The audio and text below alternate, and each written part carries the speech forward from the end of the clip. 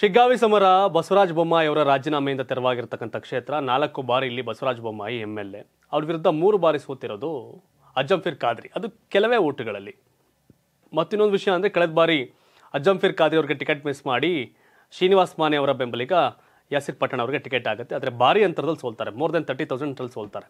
But ಒಂದಷ್ಟು ಜನ ಈ ಸಾರಿ ಟಿಕೆಟ್ಗೆ ಮಾಮೂಲಿ ಕಾಂಗ್ರೆಸ್ನಿಂದ ಅಜ್ಜಂಫಿರ್ ಖಾದ್ರಿ, ಲಿಂಗಾಯತ ಸಮುದಾಯದ ರಾಜು ಕುನ್ನೂರು, ಹಾಗೆ ಯಾಸಿರ್ ಪಠಾಣ್ ಕಳೆದ ಬಾರಿ ಅಂತ ಯಾರು ಕಂಟೆಸ್ಟ್ ಮಾಡಿದ್ರು ಅವರು ಇದಿದೆ. ಬಟ್ ಅಜಂಫೀರ್ ಖಾದ್ರಿ ಏನು ಅಂದರೆ ಆ್ಯಟ್ರಿಕ್ ಸೋಲ್ ಆಗಿದೆ. ಸೋಲು ಕೆಲವೇ ಮತ್ತು ಅಂದರೆ ಹತ್ತು ಸಾವಿರಕ್ಕಿಂತ ಜಾಸ್ತಿ ಇಲ್ಲ ಐದು ಸಾವಿರ, ಆರು ಸಾವಿರ, ನಾಲ್ಕು ಸಾವಿರ ಓಟಲ್ಸ್ ಓದ್ತಿರೋದು. ಫಿಫ್ಟಿ ಪರ್ಸೆಂಟ್ ಓಟ್ ಈ ಕಡೆ ತಗೊಂಡ್ರೆ ಎರಡು ಮೂರು ಸಾವಿರ ಅಂತರದಲ್ಲಿ ಸೋಲನ್ನು ಅಜಂಫೀರ್ ಖಾದ್ರಿ ಕಂಡಿದ್ರು. ಆದರೆ Yasir Pathan more than twenty five thirty thousand ಅಂತರದ ಸೋಲಿನಲ್ಲೇ ಅವರು ರೇಸಿಂದ ಒಂದೊಂದು, ಒಂದಂತಕ್ಕೆ ಔಟ್ ಇದ್ದಂಗೆ. ಬಟ್ ಇನ್ನೊಂದು ಕಡೆ ರಾಜು ಕುನೂರು ಅಂದರೆ ಲಿಂಗಾಯತಕ್ಕೆ ಟಿಕೆಟ್ ಕೊಟ್ಟರೆ ಹೇಗಿದ್ರು ಮುಸಲ್ಮಾನದ ಕಾಂಗ್ರೆಸ್ಗೆ ಹಾಕ್ತಾರೆ. ಹೇಗಿದ್ರು ಬಿ ಜೆ ಪಿಗೆ ಹಾಕಕ್ಕೆ ಹೋಗಲ್ಲ. ಸೊ ಲಿಂಗಾಯತ್ರಿಗೆ ಟಿಕೆಟ್ ಕೊಡಿ ಅನ್ನೋದು ಒಂದು ಲೆಕ್ಕಾಚಾರ ಆಯ್ತಾರೆ ಆದರೆ ಕಾಂಗ್ರೆಸ್ಸಲ್ಲಿ ಲಿಂಗಾಯತ ಸಮುದಾಯಕ್ಕಿಂತ ಅಲ್ಪಸಂಖ್ಯಾತರ ಸೀಟ್ ಅದು. ಅವ್ರಿಗೆ ಟಿಕೆಟ್ ಕೊಡಬೇಕು ಅನ್ನೋದು ಡಿಮ್ಯಾಂಡು. ಇನ್ನು ಜಮೀರ್ ಅಹಮದ್ ಖಾನ್ ಸೇರಿದಂತೆ ಸಂತೋಷ್ ಲಾಡ್ ಶಿವಾನಂದ ಪಾಟೀಲ್ ಬಹುತೇಕರ ಅಭಿಪ್ರಾಯ ಏನು ಅಜ್ಜಂಫೀರ್ ಖಾದ್ರಿ ಬಿಕಾಸ್ ಆಫ್ ಸೋತಿರೋ ಅನುಕಂಪ ಇದೆ.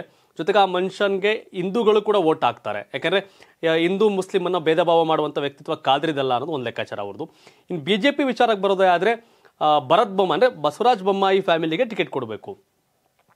ಬೇರೆ ಯಾರಿಗೆ ಕೊಟ್ಟರು ಆ ಕ್ಷೇತ್ರವನ್ನು ಉಳಿಸಿಕೊಳ್ಳೋಕೆ ಸಾಧ್ಯತೆ ಇಲ್ಲ ಅನ್ನೋದು ಬಿಜೆಪಿ ನಾಯಕರ ಅಭಿಪ್ರಾಯ, ಅದರಲ್ಲೂ ಕೂಡ ಅರವಿಂದ್ ಬೆಲದ್ ಬೊಮ್ಮಾಯಿ ಫ್ಯಾಮಿಲಿ ಕೊಡಬೇಕು ಅನ್ನೋ ವಿಷಯವನ್ನು ಸ್ಪಷ್ಟವಾಗಿ ಹೇಳಿದ್ದಾರೆ. ಜೊತೆಗೆ ಆ ಗ್ರೌಂಡು ಹಂಗೇನೆ. ಬೊಮ್ಮಾಯಿ ಫೈಟ್ಗಿಂತ ಅಲ್ಲಿ ಕುರುಬ ಸಮುದಾಯ ಮತಗಳಿದೆ. ಕುರುಬ ಸಮುದಾಯದ ಮತಗಳದು ಪಿಗೆ ಹೋಗ್ತಿತ್ತು. ಸಿದ್ದರಾಮಯ್ಯವ್ರು ಬಂದು ಕ್ಯಾಂಪೇನ್ ಮಾಡಿದ್ರು ಜಂಪ್ ಖಾದ್ರಿ ಯಾವತ್ತೂ ಎಂ ಎಲ್ ಎ ಆಗಿರೋರು. ಆದರೆ ಸಿದ್ದರಾಮಯ್ಯವ್ರು ಬಂದು ಕ್ಯಾಂಪೇನ್ ಮಾಡ್ತಿರಲಿಲ್ಲ ಅಲ್ಲಿ.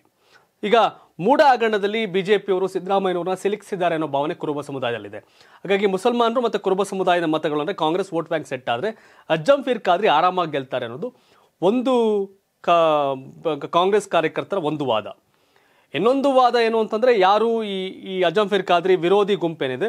ಇಲ್ಲ, ನಮಗೆ ಬೇಕು ಅಂತ. ಆದರೆ ಮೂರು ಚುನಾವಣೆಯಲ್ಲಿ ಅಲ್ಪ ಮತಗಳಲ್ಲಿ ಸೋತಿರ್ತಕ್ಕಂಥ ಖಾದ್ರಿ ಬಗ್ಗೆ ಒಲವು ಜಾಸ್ತಿ, ಈಗ ಅಂತರ ಜಾಸ್ತಿ ಆಗಿತ್ತು. ಯಾಸಿರ್ ಪಠಾಣ್ಗೆ ಟಿಕೆಟ್ ಕೊಡಲಾಗಿ ಅಂತರ ಜಾಸ್ತಿ ಆಗಿತ್ತು.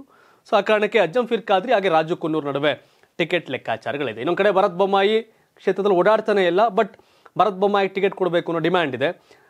ಕಾಂಗ್ರೆಸ್ ಅವ್ರಿಗೆ ಏನು ಅಂತಂದರೆ ಈ ಬಾರಿ ಈ ವಾಲ್ಮೀಕಿ ಹಗರಣ ಇವೆಲ್ಲ ಕಾರಣಕ್ಕೆ ಮತ್ತು ಚನ್ನಪಟ್ಟಣ, ಅದು ಬೇರೆ ಲೆಕ್ಕಾಚಾರ ಇರೋ ಕಾರಣಕ್ಕೆ ಕಾಂಗ್ರೆಸ್ ಗೆಲುವಿನ ಬಾವುಟ ಆರಿಸಿದ್ರೆ ಫಸ್ಟ್ ಅದು ಶಿಗ್ಗಾವಿನಲ್ಲಿ. ಸೊ ಹಾಗಾಗಿ ಇಲ್ಲಿ ಅಜಂಫೀರ್ ಖಾದ್ರಿಗೆ ಅವಕಾಶ ಆಗಬೇಕು ಅಂತ ಒಂದು ಬಣದ ವಾದ ಇದೆ.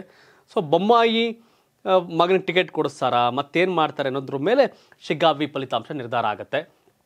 ಎರಡನೇದೇನು ಅಂತಂದರೆ ಆಗಲೇ ಹೇಳಿದಂತೆ, ಯಾಕಂದರೆ ಶ್ರೀನಿವಾಸ್ ಮಾನೆ ಕಡೆಯವರು ಭಾರಿ ಹಂತದಲ್ಲಿ ಸೋತಿದ್ದಾರೆ ಯಾಸಿರ್ ಪಣ್ಣಾಣ್ ಇನ್ನು ಸಂತೋಷ್ ಲಾಡು, ಶಿವಾನಂದ ಪಾಟೀಲು ಒಂದಷ್ಟು ಜನ ಎಲ್ಲ ಸೇರ್ಕೊಂಡು ಇಲ್ಲ ಅಜ್ಜಂಫಿರ್ ಖಾದ್ರಿ ಬೇಕು ಅನ್ನೋ ಲೆಕ್ಕಾಚಾರ. ಅಂದರೆ ಅಲ್ಪಸಂಖ್ಯಾತರಿಗೆ ಟಿಕೆಟ್ ಆಗೋದಾದ್ರೆ ಅದು ಅಜ್ಜಂಫೀರ್ ಖಾದ್ರಿಗೆ ಒಂದು ಕೈ ಮೇಲೆ ಟಿಕೆಟ್ ಪಡೆಯೋ ವಿಷಯದಲ್ಲಿ. ಬಟ್ ಲಿಂಗಾಯತ ಸಮುದಾಯದ ರಾಜು ಕೊನ್ನೂರ್ಗೆ ಟಿಕೆಟ್ ಆಗುತ್ತಾ? ಬೇಕು ಅನ್ನೋದು ಒಂದು ವರ್ಗ ಇದೆ. ಬಟ್ ಕಾಂಗ್ರೆಸ್ ಹೈಕಮಾಂಡ್ ಯಾವ ನಿರ್ಧಾರವನ್ನು ತೆಗೆದುಕೊಳ್ಳುತ್ತೆ ಅಂತ ಕಾದು ನೋಡಬೇಕು. ಎಸ್ ವೀಕ್ಷಕರು ನಿಮ್ಮ ಪ್ರಕಾರ ಶಿಗ್ಗಾವಿನಲ್ಲಿ ಬಿ ಜೆ ಪಿಯಿಂದ ಬ ಭರತ್ ಬೊಮ್ಮಾಯಿ ಸ್ಪರ್ಧೆ ಮಾಡಿ ಕಾಂಗ್ರೆಸ್ಸಿಂದ ಅಜ್ಜಂಫೀರ್ ಖಾದ್ರಿ ಅಥವಾ ರಾಜು ಕುನ್ನೂರು ಯಾರು ಸ್ಪರ್ಧೆ ಮಾಡಿದ್ರೆ ಫೈಟ್ ಆಗುತ್ತೆ? ಏನಾಗ್ಬೋದು ಫಲಿತಾಂಶ? ನಿಮ್ಮ ಒಪಿನಿಯನ್ ಏನು? ಕಾಮೆಂಟ್ ಮಾಡಿ ತಿಳಿಸಿ. ಧನ್ಯವಾದ. ಇದು ಕರ್ನಾಟಕ ಟಿವಿ ಕನ್ನಡಿಗರ ಧ್ವನಿ.